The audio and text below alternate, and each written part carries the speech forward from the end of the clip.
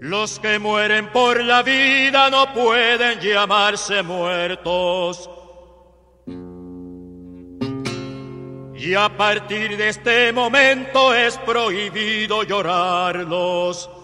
Queremos rendir honor y gloria a la memoria de la camarada Bárbara Mejía. La profesora Bárbara Mejía es, sin duda alguna, la progenitora de la salud y la seguridad de los trabajadores en Panamá.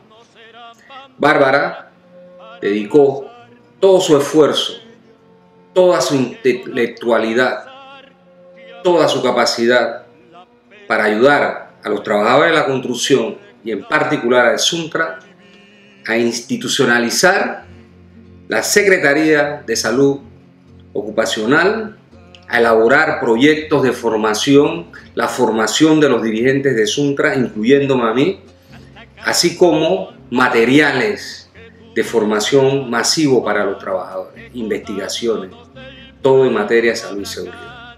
Bárbara fue una mujer comprometida con la lucha de nuestro pueblo, una mujer revolucionaria, patriótica, una mujer de criterio, de liberación nacional y social, y a ella Suntra rinde homenaje, baja sus banderas y desde aquí extendemos un abrazo a toda su familia que hoy ha perdido sin duda a la madre, a la abuela, a la hermana, a la hija, a un ser extraordinario. Honor y gloria, Bárbara Benítez.